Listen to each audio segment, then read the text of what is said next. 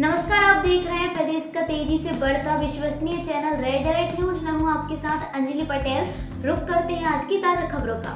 गोटेगांव नरसिंहपुर ज़िले के सर्व ब्राह्मण सभा द्वारा जगत गुरु शंकराचार्य जी की किए पादुका पूजन। गोटेगांव के परमहंसी गंगा आश्रम में नरसिंहपुर ज़िले के सर्व ब्राह्मण सभा के द्वारा जगत गुरु शंकराचार्य स्वामी स्वरूपानंद सरस्वती जी महाराज का पादुका पूजन किया गया। इस कार्यक्रम में बड़ी संख्या में नरसिंहपुर ज़िले के समस्त ब्राह्मण उपस्थित रहे। कार्यक्रम पश्चात शंकराचार्य जी महाराज के द्वारा सभी ब्राह्मण विद्वानों के लिए भोजन की व्यवस्था की गई।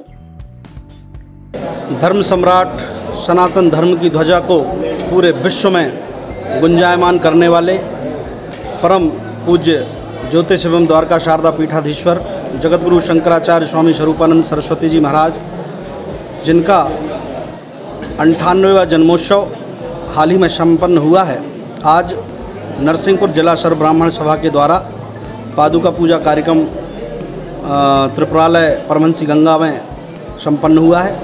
आज ज़िले से गाडरवारा, करेली, गोटेगांव, चीचली, साईखेड़ा सभी स्थलों से ब्राह्मण बंधुओं ने आकर पूज्य शंकराचार्य जी से आशीर्वाद ग्रहण किया और उनके जन्मदिवस पर शुभ मंगल कामनाएँ उन तक प्रेषित की।